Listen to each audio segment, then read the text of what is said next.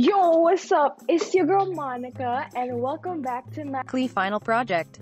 Alright, so to start off this video, we gotta gotta talk about what ecumenism is in the first place. Obviously. So basically, let me get my glasses. Ecumenism pertains to the efforts of the different Christian churches coming together to understand one another's faith and how each relates to one another. Isn't that great, is it? Ecumenism refers to the various efforts, movements, or tendencies to come together by Christians of different church traditions, journeying towards worldwide Christian unity or cooperation.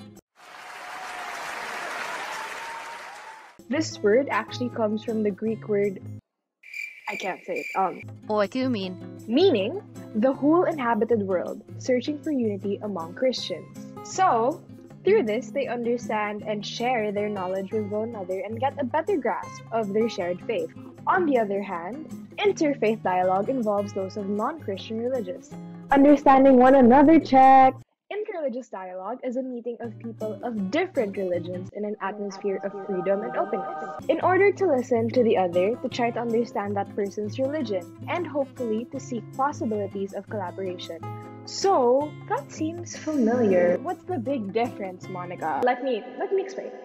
Ecumenism is the unity of Christian religions as one body, and that we are all members of Christianity. It's just that we practice different traditions in Christianity. Interreligious dialogue is how we see people of other religions as brothers and sisters in the human family, but they are not members of the same body, the church, as us Christians. Anyway, thanks for watching. Subscribe. Hope you enjoy this part, and let's move on to Eric Gamer Boy. Eric, are you there?